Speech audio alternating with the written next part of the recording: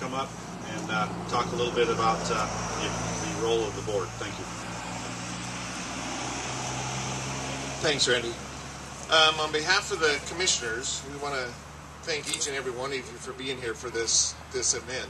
Um, you know, it's it's a teamwork effort that really started long before my time on the board. Jack has been here several years, as has Jim. Um, I got to come in, and I think they elected me chair to go through these kind of things. But I really appreciate you all being here. Um, we really appreciate your your support, the commitment you all have to make District 4 work for all of us. You know, it's a team event. It started many years ago. Chief Lewis, who is retired, uh, set us down this path. And so this station was efforts from many, many meetings, many, many committees that are involved between the apparatus committee and the, the building facilities committee and the bond committee. And so it takes a lot of effort, a lot it takes a lot of teamwork, and, and I just really want to thank you all from the board. It makes our job much, much easier when we have the support of the community. So thanks very much, and I think we have some uh, certificates to pass out, so I'll get Randy back up here.